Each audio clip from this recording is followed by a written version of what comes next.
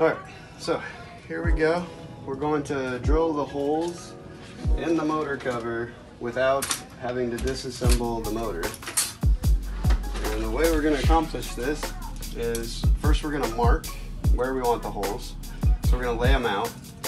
And from the edge of the inner cover here, um, we're gonna measure how far away from the inner cover we want that. The inner cover lands just inside of the inner race. And we want the hole to break out just right about at where the seal is. So, well, we'll say about 330 thousandths from the edge. So you take your calipers, lock them, and then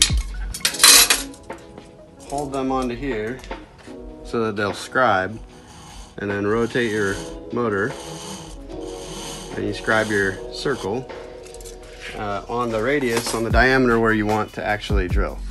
Next, we're gonna scribe the cross lines and we're gonna line up to all of the bolt hole pattern around the outside for simplicity. And so you take your punch or scribe tool, whatever you're using, uh, and it's pretty easy if you lay it across the top of the hanger and then just rotate until there's bolts in line and scribe your mark, top and bottom, and then rotate to the next set of bolts. So that's four, six, eight, ten, and we're doing 12 holes. You could do six holes. You could do whatever you want. But if you're doing it this way, it's so easy at this point. Might as well do the 12 holes. So there's that. Next, you need a hammer. And just make yourself a little punch prick. One, two, three, four, five, six, seven, eight, nine, ten, eleven, twelve. Okay, next we're gonna take this uh, piece of shim.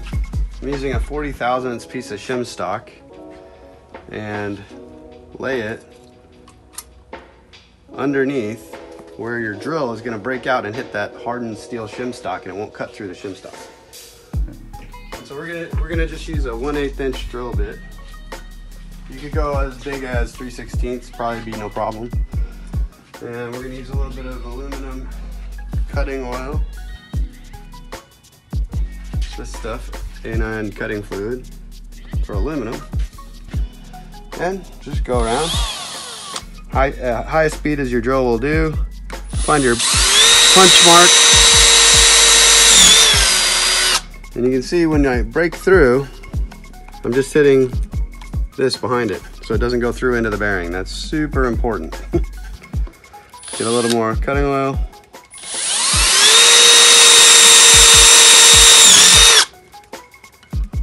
And repeat. And then do the other side, vacuum everything off, clean as well as you can.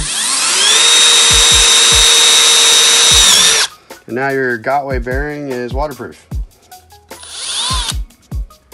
Yep, and you're going just at a little bit of an angle. Uh, yeah, you don't have to. Um, I, I feel like the angle helps water fling out of the holes. Okay. But it's not you know, super necessary. I just like to do it.